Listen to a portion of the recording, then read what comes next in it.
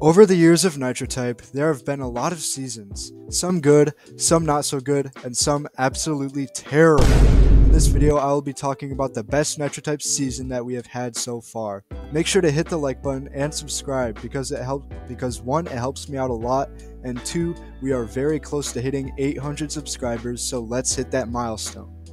Before we get into what I think the best Nitrotype season is, there are over 50 seasons of Nitrotype, and I've narrowed it down to two possible candidates for the number one season. I will leave it to you guys to decide what the best season in all of Nitrotype is after that. And I should also mention that while I could say that this is opinion based, it's not because I'm sure we can all agree that at least one of the seasons I'll be talking about is the best of the best. Before I talk about those two seasons, however, I made a list of Nitrotype seasons that were good, but not exactly top tier. Season 33, Sea of Riches. Season 37, X-Max 2021. Season 47, Summer Safari. Season 48, Back to School. And last but not least, Season 50, X-Max 2023.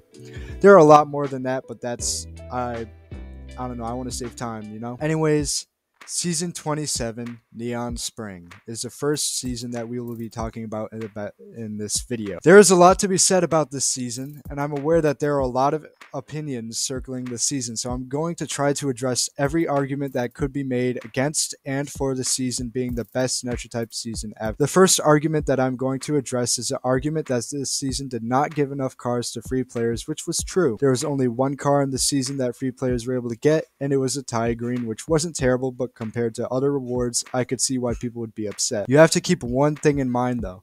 This season served as a sort of revolution for Nitrotype because it was the first ever season that had a tiered system. So the season was a new thing for Nitrotype players, and looking back, I think the Nitrotype developers didn't do that bad of a job considering that it was their first real season. The only real problem I think people had with the season was the fact that it only had one free car to offer for free players.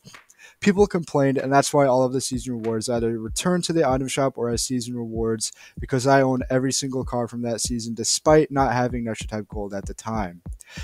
The rewards in the season were also brand new and not returning like seasons are nowadays.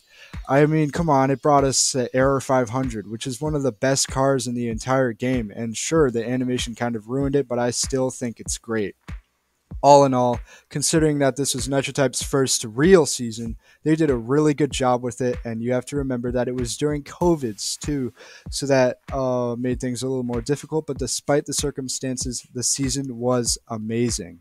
That's all I have to say about our first candidate. So, what about our second candidate? Well, you'd have to fast forward over two years later to get to Season 44 X Max 2022. Before we talk about the season, we need to talk about some other seasons that were around during the year of 2022. That year was not the greatest year for Nitrotype seasons. We had Nitro Arcade, which didn't need to be split up into two separate volumes. We had the Back to School season, which is very underwhelming compared to other Back to School seasons and events. And we had Nitro TV, which is really just a dry season. Despite these somewhat bad seasons, Nitrotype was still able to end the year on a high note with X-Max 2022, which had 7 cars, 3 cars for gold members, and 4 cars for go- non-gold members. I really want to focus on the cars of the season because I think cars have the biggest impact on how people like view seasons. Uh, let's start off with the first free reward, the Winter Wonder. I was really surprised when I saw this car and was even more surprised to find out that it was free because for a free car, I mean, it's pretty insane. All of the other cars are clean too, except for whatever this is. And Nitrotype only brought back one car during the season, which was the Shimura Jolly GTX LG. That car is not bad either. I also want to focus on the final reward of the season, which was the maxed out shadow, sh- the maxed out shadow tree. I feel like bringing this car into the season was one of the smartest decisions Nitrotype has ever made, and here's why. Everyone loves a Shadow X Max tree, which was available for players several years prior, but the only problem is there were a ton of people who wanted it but just couldn't get it. Nitrotype definitely could have brought it back in the shop or as a season reward, but instead they took the Rocket Claws and turned it into a Shadow car. I mean, it worked pretty well. Sure, it didn't get it doesn't get half the glory that the Shadow X-Max tree gets, but it is still a very nice car with a nice animation as well. Other than cars, this season also had a lot of unique things about it. For example, the whole site had a custom theme for all players to enjoy during the season.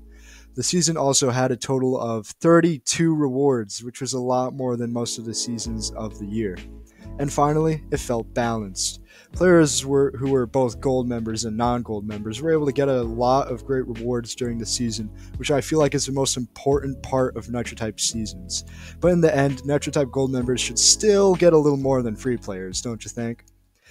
Well, guys, that is it for the video. If you made it this far into the video, hit that like button and subscribe so that you don't miss out on any other videos like this.